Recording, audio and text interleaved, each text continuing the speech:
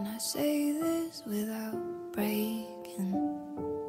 How can I say this without taking over?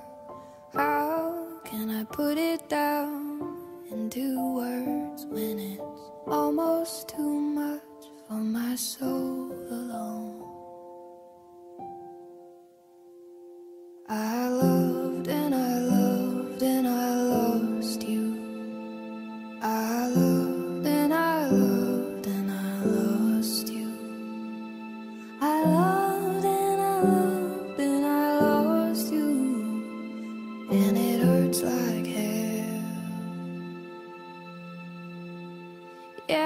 hurts I.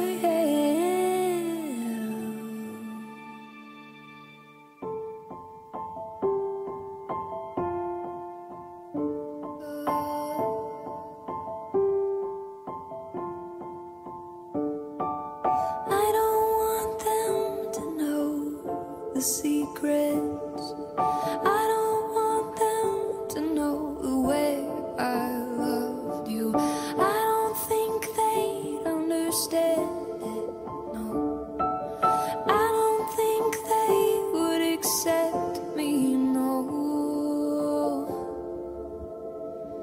I